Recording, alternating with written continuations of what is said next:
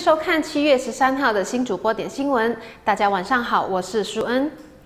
国会下议院今天以一百一十一张支持票和一百零九张反对票通过撤换下议院议长丹斯里莫哈默阿里夫的动议。在动议通过后，副议长尼可敏也宣布辞职。随着下议院通过悬空下议院议长职。首相丹斯里穆尤丁向下议院提呈动议，提名选委会前主席纳多阿兹哈为新任议长，而纳多斯里阿扎丽娜则出任副议长。另外，带大家关注沙拉越的冠病疫情进展。明都鲁现在有一宗确诊病例，导致沙拉越的累计确诊病例达五百八十宗。不过，这个新增确诊病例属于输入性病例，所以明都鲁还算是绿区。这名五十九岁的确诊患者为印尼人，他是游船 LNG Jupiter 的船员。当游船在七月三号进入新加坡海域时，他上吐下泻，以及有发烧、呼吸困难和头痛的症状。当下也接受了治疗，不过没进行冠病检测。直到本月十一号，游船靠近明都鲁海域时，他的呼吸困难症状日益严重，所以船长便向明都鲁港口发出了求助的信息，让船员接受进一步治疗。男子在十二号通过 RT-PCR 的检测后，化验报告结果呈阳性。另一方面，沙灾难管理委员会表示，沙政府已经做好准备面对第二波的疫情，而明天将宣布一系列的措施，包括是否复课。换个看点。一对夫妇前往油站添好油，等亲友上车时，一名一般籍男子突然打开车门，坐进了车里面，然后大喊：“有人要杀我！”那对夫妇听了后吓了一跳，赶快下车，而男子马上就开走了他们的汽车。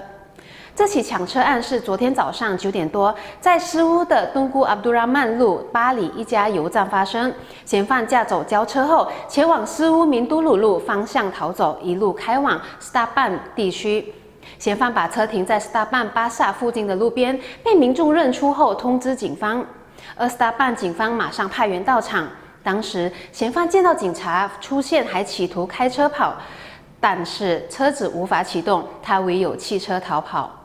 当他逃到河边，发现前方已经没有去路，但眼见后面还有很多警察追上来，他竟然不顾危险跳进河里面。不久后，嫌犯被附近的居民救起来，并交给警方处理。古晋其中一个标志性的地标 Fort Margarita 关闭四十天后，今天重新开放，并展出一个和沙捞越早期划船比赛 Sarawak Regatta 有关的新古物，那就是一只拥有一百二十年历史、给人观赏的木匠。据了解，这只木匠是一九零零年代由本地领袖赠送给沙捞越最后一位拉惹 Anthony Brook 的礼物。这只船桨大概一米长，重量少于二公斤，是由岩木制造而成。而船桨的表面雕有富有本地土著文化的精美花纹。目前，布洛克博物馆管理层对这只船桨的历史背景资料还是掌握不多，不过他们将会尽力挖掘，还原当时的历史真相，把沙捞越划船比赛这段佳话记录下来。以上是今天的重点新闻，感谢大家的收看。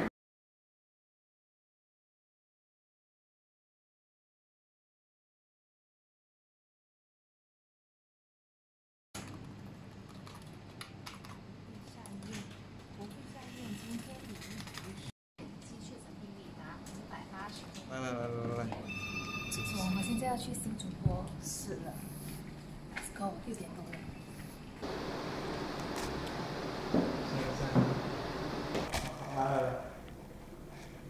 哎，是吗？我刚才是哪个卡到？古晋其中一个地标性、标志性、标志性地标。你、你、你、你，最后一个，最后一个。是吧？第三个。